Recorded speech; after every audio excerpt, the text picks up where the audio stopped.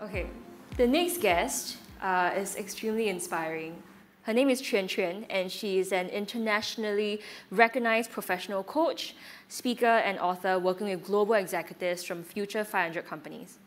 But just a few years ago, she left her stable teaching job that she has been in for 14 years. She earned a good salary and was told that she had a lot of potential. But despite already achieving what people would say is conventional success, she felt like there was something more there. She knew that she had a dream to pursue a different career, but was afraid of being labeled as a bad wife and mother if she traded stability from an untested dream. And she took six years to pluck up the courage to pursue a dream and nearly ran out of money twice. Chuen Chuen will share how she made her new career happen despite her fears of failure and judgment and redefined her own measurements of success. So without further ado, give me a round of applause for Chuen!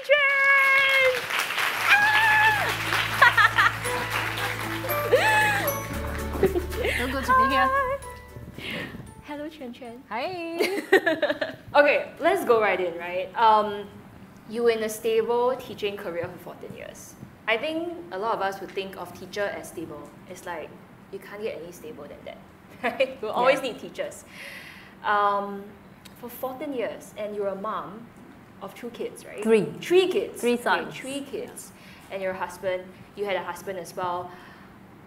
What gave you that courage to pursue your dream? And was there any, you know, thoughts that probably weren't the most helpful as you were making that decision? Mm.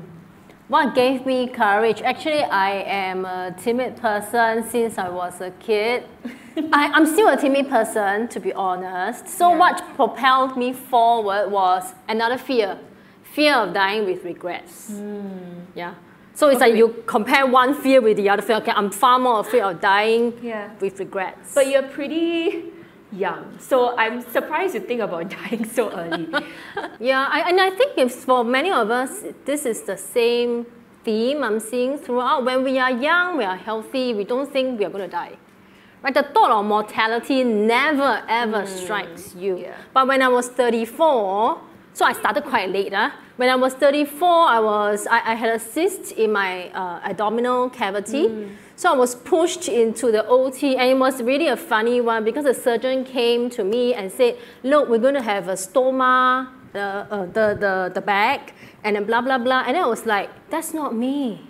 And then the other patient beside me laughed. I was like, oh, that's me. I was like freaking out, you know, when the surgeon cut me out wrongly or something. oh my god, he really did? No, no, no, no, no. Oh, he he, didn't. He didn't. Oh yeah, I mean, for goodness sake, like, luckily I said, no, I don't think that's my procedure. And then the Mm. lady beside me said, yeah, that's me. I said, oh no, I'm, I'm not going to have a stoma.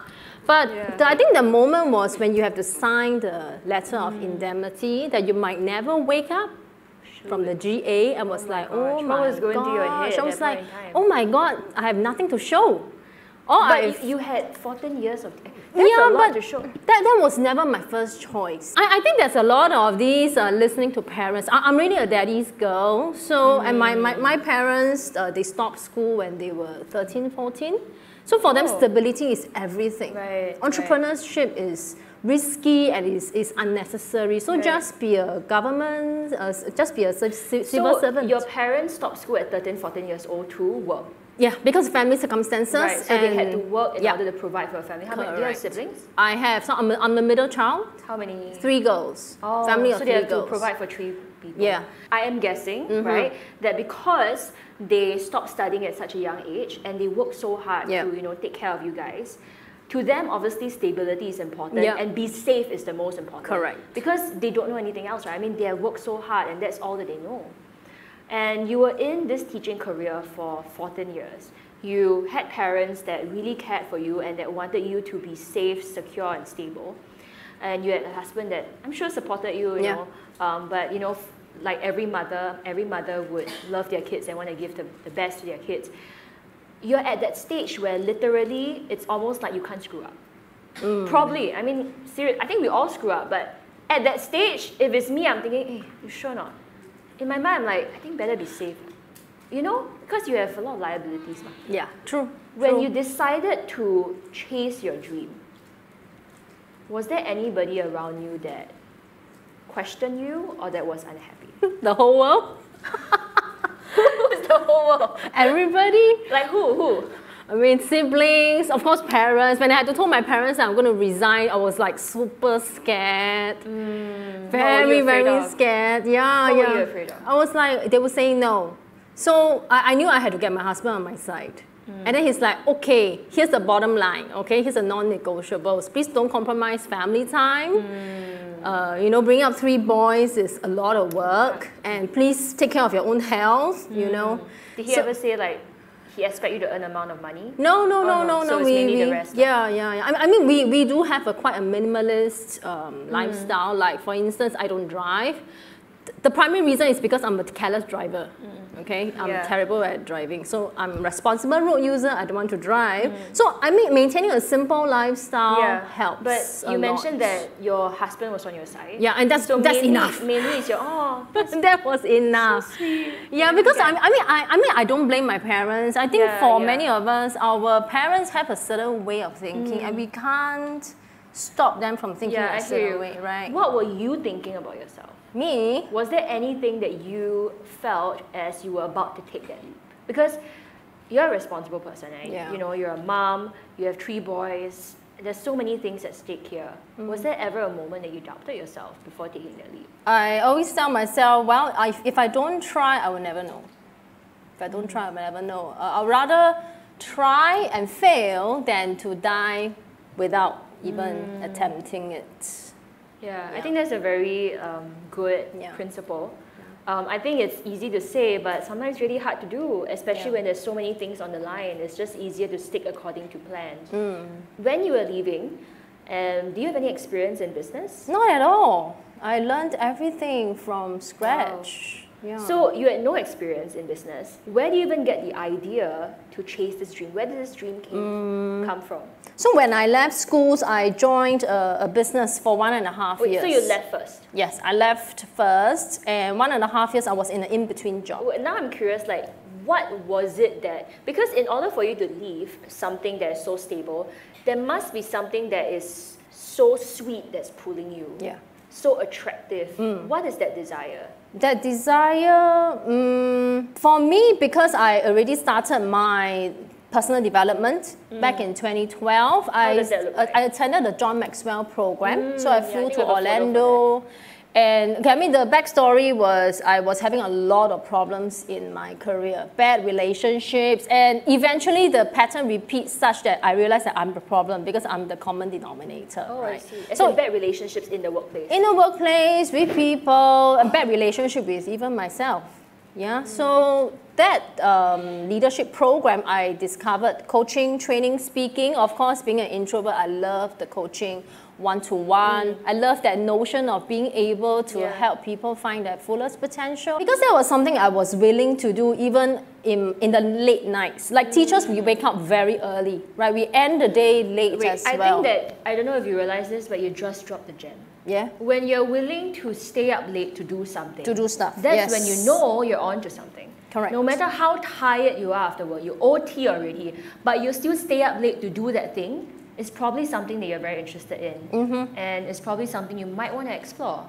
Yep, yep. Okay. Yeah, I can always remember, say, on the call with someone. At that time, we didn't have Zoom. Everything was on Skype, audio call. I was practicing my coaching. Somebody from France, somebody whose face I will never ever see. But just that one hour coaching conversation where you can help the person sort out the issues and find a way forward. Ah, so happy. What was the difference between you feeling so happy in that coaching session versus like teaching? I was good at what I did, but I think the happiness index was only probably half mm. because to a certain extent the curriculum stays the same.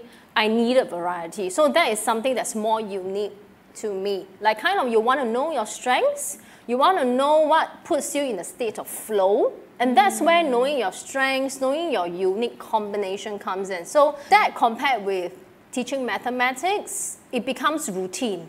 Because Yeah. I know exactly which step they would have a mistake, and I know Yeah. exactly how to I rectify get you, I it. get you. you know, You know one thing that I realized as you're sharing your story of how you're in a pretty comfortable career. Mm-hmm. There's nothing wrong with it. Nothing wrong with it. Yeah. But you still decided to find more. Like Yeah. have a change. Yeah. Right? And you that being a teacher might be might be happy and fine with you when you're much younger, like maybe in two, three years in your, Probably. your career. Yeah. But the reality is that we have a long life and it's totally okay to make a different decision when you are 30, when you're 40, when you're 50. Nobody said you have to make a decision at the start of your life and stick that decision forever. yeah, yeah. Nobody said, truly. But only when we take a step out of a comfort zone, just like going for that all the way to Orlando, right? For for um, who's it? John. John Maxwell. John Maxwell. Yeah. Yes, leadership. John Maxwell's event. That was the first time I traveled solo. Wow. And I was like, oh my god, I'm so scared. And I went- so I I actually applied leave to leave to, to not be in school for Yeah, teaching, yeah, which is yeah. like to- completely unheard of. And I told my colleague, I'm so scared. I'm flying to Orlando on my own. And, my, and she looked at me, my, my colleague, oh my god, you are like 32, 33, grow up. And I finally grew up, you know. harsh, yeah. Yeah, but I mean, that, that was But a you needed to be uncomfortable in order to see more than what you are. Yeah, yeah, right yeah, yeah, Mm. yeah. And I mean that those moments where you step out a little bit and challenge the norms a little bit. Mm. I left my two kids at that time home, my husband and my helper. I have a lot of support, look Yeah. after my kids. Then my dad was like rolling his eyes and he was like coming to drive me to the airport. And Yeah. I'm born in the year of the monkey and he said and then I came down with this like huge haversack and like this like I don't know 20 30 kg of luggage. I was struggling.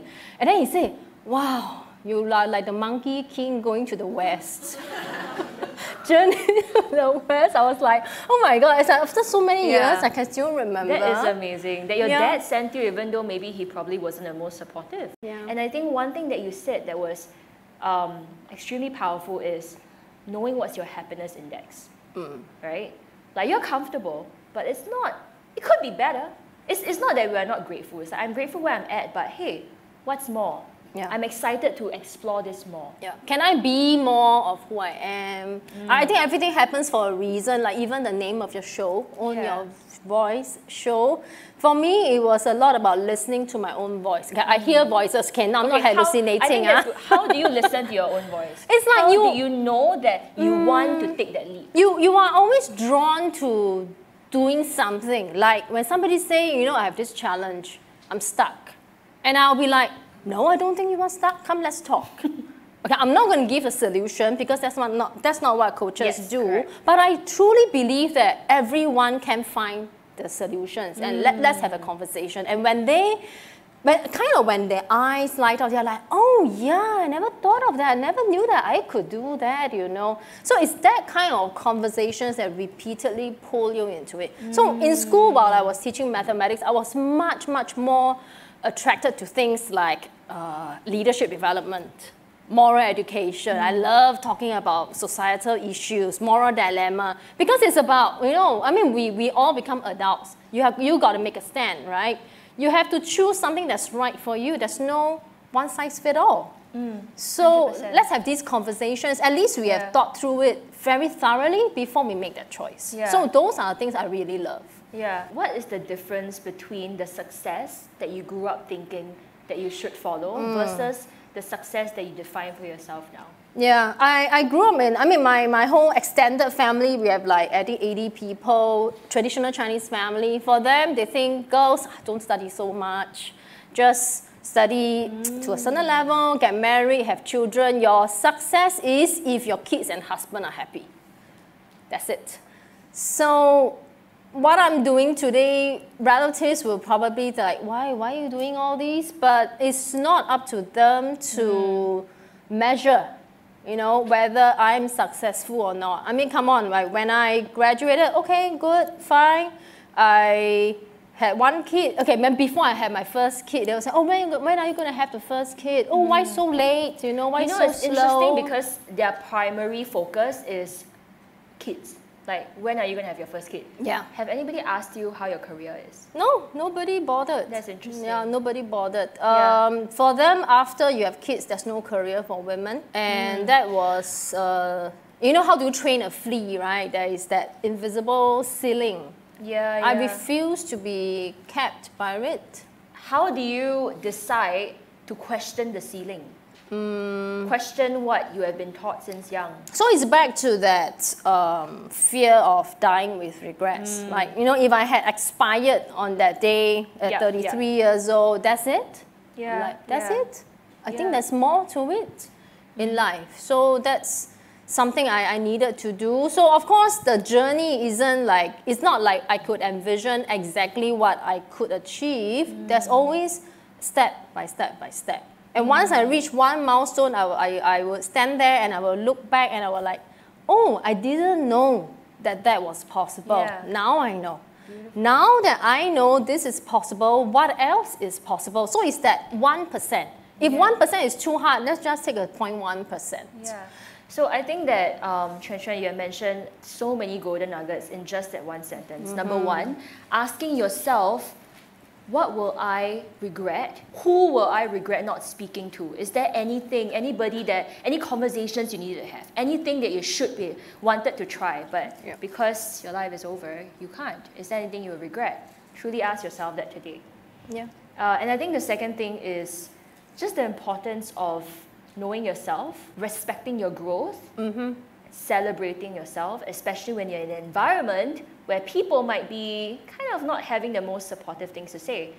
One thing that you mentioned, we will never know what is our journey 50 steps ahead of us Yeah. we can only see what the first few steps are. And it's so important to have the faith to say, hey, I'm just going to take the first few steps.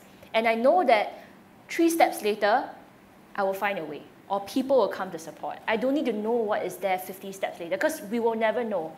Life is never certain. Mm. If you want to be certain, you live in the past. Yeah, true, true. As long as we figure out the directional goals, I think that's mm. very important. Yeah. Know what is the relationship you want with mm. people. For example, when I work with clients, I value respect very much. Please respect me as a professional. Otherwise, I'm not going to do business with that person Yeah. or with that group. Yeah. And that is something that we also need to check for ourselves. What Yeah. is the support that we need? Then, as long as your directional goals are correct, you will know whether you are heading in the right direction. If not, I- I mean, because I specialize in agile leadership, so I think it's like taking one step. Let's treat it like an experiment. If things don't work out, okay, then what can I do? Yeah. Let me quickly adjust. It's also important not to have blind faith. Actually, one question I always ask myself is, what is the worst that can happen? I love Am I- that. and am I ready for it? If I'm ready for it, let's go ahead. If I'm not, then okay, maybe let me seek out a little Yeah. more, you know, this uh, constructive and useful feedback or, or data. Yeah. I think one thing that I noticed about Chuen Chuen as you share, right, is you don't take action that is not thought out well. You actually think. Like Mm. There's courage, but you, you consider things like, okay, do I have enough savings? What is the plan that I have? Right? I don't need to have a full-fledged 50-step plan, but what's my first few steps? Do I have a backup plan? Things like that. Do I have people around that support me? That's the kind of vibe that I'm getting from you. Mm. You don't just take that step and go like, okay, I don't care what's gonna happen. You Mm. actually plan. I'm not overly positive. Hmm. Uh, I am hopeful. I am courageous in that sense. I am making a calculated bet Okay. of whether it will if work. If there was maybe two to three things that you would say people who want to make a career change need to do before they do, you mentioned a calculated Yeah. step. What is that two to three steps? Mm, I think number one, know yourself very well. Okay. Know what you're capable of. Because when you put yourself out there, you must help people achieve the results. Mm. Like if I say I want to be a coach, but I'm lousy at it, Yeah. no way, man. Nobody's going to pay you like recurring. Yeah. right? So be good at it. be good at it. Commit time to really sharpen the saw, right? If you talk about Stephen Covey's, Mm, yeah. uh, you know, this phrase, sharpen your saw all the time. Mm. Second one, I I also think about don't compare. Mm. Don't compare. Sometimes it's very easy for for us to be sucked into that hole of like despair. Like we look at other competitors, oh, they're so great, they're flying around, so glamorous, and then there I have three boys at home. I cannot fly here, cannot fly there. I think don't don't compare. There is joy in all the circumstances, Yeah. and I, I make the choice, Yeah. right? Like even now, I am going to take up a doctor in business administration uh, to further my education. I will choose something that works for the family. Mm. I will not be resentful that oh I can't go there for four years. I can't leave my family behind. Mm. So What you're considering yeah. what the situation you already have. Correct, correct. So don't compare. Be thankful for what, what we have. The Mm. Third one, I would say, always watch out for evidence and collect data to validate if your hope is in, in the right, is, is cast correctly. I like how you say find evidence because when we find evidence. evidence, there's a higher chance we will find it. Correct. Right? Instead of focusing on the negatives, like I'm not good enough, Mm-hmm. focus on, hey, which parts am I improving in? Right? Mm. How can I improve the parts that might not be improving as fast? True, true. Yeah. Mm. Okay, we're gonna go to maybe one audience question. All right, um, how did you navigate or striking the balance between the need to be practical and the desire to pursue your calling? Practical versus pursue calling. Uh, actually, I do it in a very pragmatic approach, you know. Yeah. Please share. Yeah. so, like, what is the half step? You know, half step. Half step. So, my first half step was leave the job. Okay, can I find the courage? Number one, leave the job. Can I resign? Can I give away all my teaching resources? That's one. Can I get my husband on my side? And I tell him very clearly, this is what I Yeah. need. This is the kind of support I need. And Yeah. describe, describe to him what it really looks like. You know, because we are talking about lifestyle changes. Yeah. Right now, it's number one. Number two, my next half step was I found a job where I was able to put my teaching uh, experience Oh. plus learning how to run a business. That's great. I follow my boss it's everywhere. Really, it's really thinking like how can I learn the skills Yeah. that I need? What do I la- lack? How do I find okay. that? How do I find that? Uh, something that Akens mentioned as well, the mentorship. very, very mentor. important. Ask great questions, like how I got rejected so many times in my sales calls. Yeah. Right. So this brings us to one last question that I want Mm. to take, um, which I think someone is willing to share with the mic. So can we have the mic out there, please?